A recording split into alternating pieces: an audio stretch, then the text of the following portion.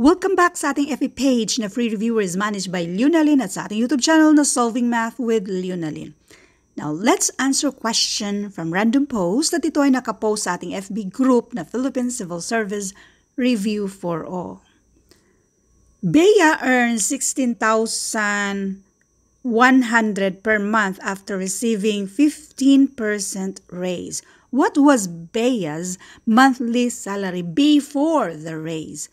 Itong mga kahalintulad nito ay minsan ang lumabas sa mismong civil service exam. Yung mga kahalintulad nito. At napapansin ko marami talagang nagkakamali sa ganitong klasing tanong. Let's solve this in three ways. Unahin natin yung tinatawag kong Kanto style way sa pag-solve nito or pwede nating tawaging box-box method natin. Solution number one. Para ba mas lalo niyong maintindihan, so mag-drawing tayo ng mga boxes. 10 boxes. So, itong 10 boxes na dinodrawing natin, ito yung 100%.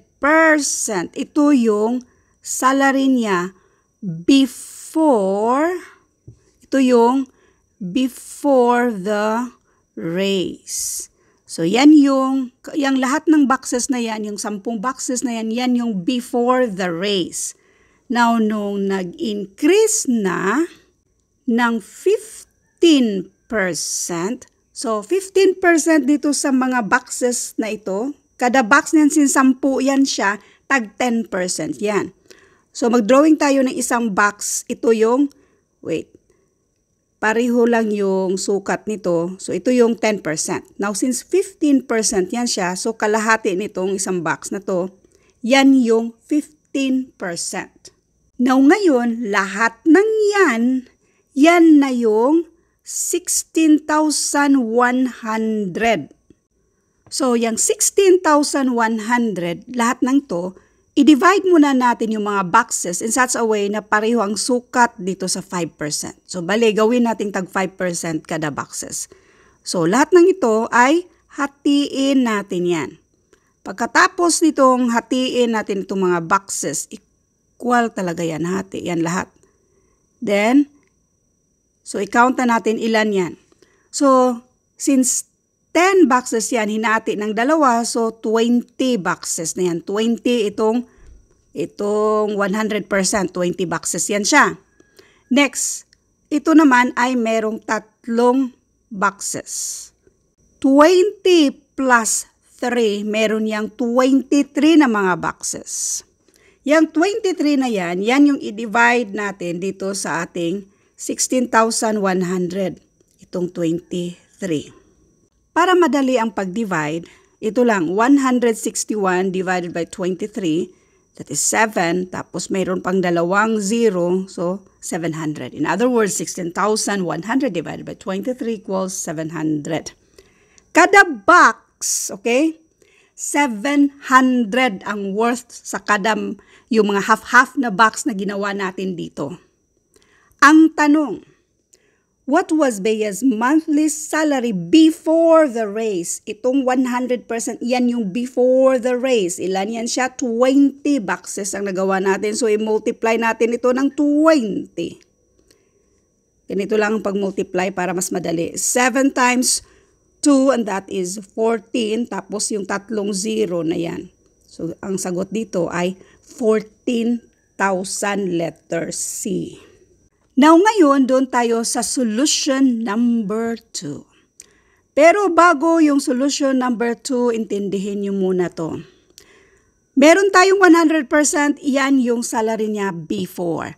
Tapos yung increase ay 15% niyan. So therefore, ang total ay 115%.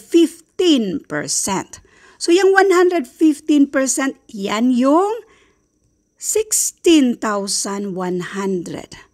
Therefore, dito sa ating solution number 2, ganito yan.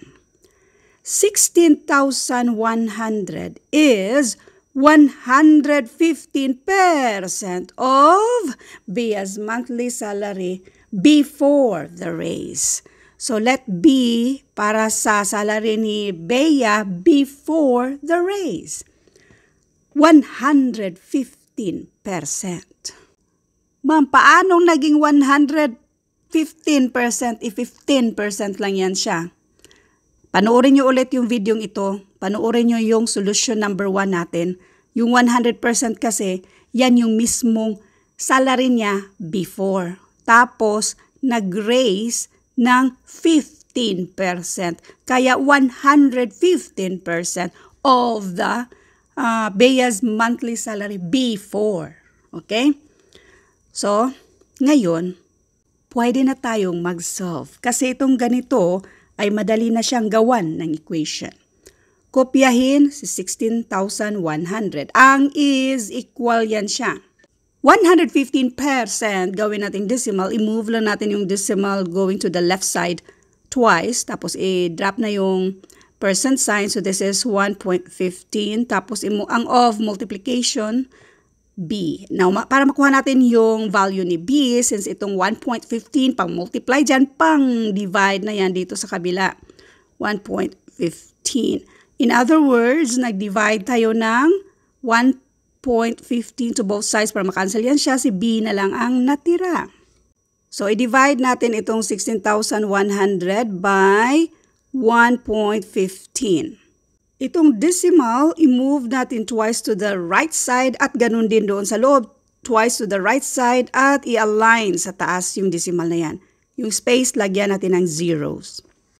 Now, ilang 115? Si 161, isa lang yan siya. So, 1. So, this is 115. So, this is 6, 5, this is 4. Bring down natin yung isang 0. Si 460, ilang 115 ba yan siya? 4. Kung i-multiply natin ito, this is equal to 460. Meron pang tatlong zero na natitira, ikupyahin na lang yan at ang sagot dito ay 14,000 pesos. Ngayon dito tayo sa solution number 3. Doon tayo sa yung triangle ba?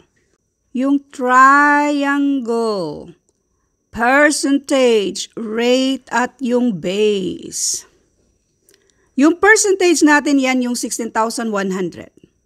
Yung rate natin 115%. So alam nyo na paano naging 115, di ba? So yung hinahanap natin ay yung base. Kapag si base ang hinahanap, that is percentage divided by rate. Ang percentage natin ay 16,100 divided by yung 115% sa decimal 1.15. 15. At ito ay nasolve na natin sa ating solution number 2 which is equal to 14,000 pesos. Now ngayon, let's double check. I-double check natin kung tama ba itong 14,000. Itong double checking natin, pwede na natin itong i-consider as solution number 4. So bali, itong solution number 4, pwede nating isa-isahin yung mga choices.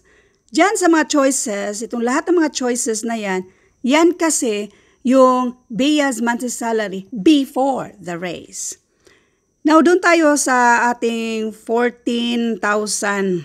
So, yung 14,000, yan yung salary niya before.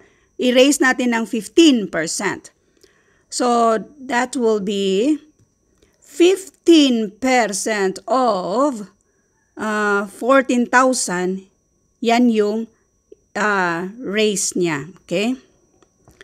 So, 15 percent means 15 per 100. Ang of multiplication, i-multiply natin sa 14,000. Dalawang zero dito sa 14,000, dalawang zero dito sa baba. By the way, remember na ang lahat ng whole number mayroong automatic na 1 na denominator. So ngayon ang i-multiply lang natin na itong 15 at itong 140. Okay? 140 i-multiply sa 15. Mamaya na yung isang 0 dyan. So, this is 20. So, 7. This is 14. So, kopyahin na yung isang 0. Tapos isang 0 pa. This is 11. So, we have 2,100. Yan yung race. So, ngayon, yung race na yan na 2,100, i-add mo yan sa salary niya before na 14,000. Tapos i-add mo yung 2,100. And this is exactly equal to 16,000. Itong 16,100. Therefore, yung sagot nating 14,000 pesos, 14,000 pesos ay tama. Now, kung anong ginawa natin dito sa double checking natin, gawin nyo rin dito sa ah, letter A, letter B, letter D, letter E. Kapag ang lalabas ay hindi 16,100, ibig sabihin, mali ang mga sagot na yan. Thank you for watching and all I hope mayroon kayong natutunan sa videong ito. Thank you and God bless.